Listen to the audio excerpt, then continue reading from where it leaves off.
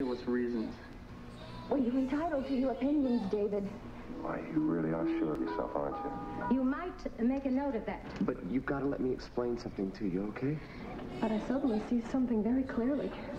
Just think about what I said.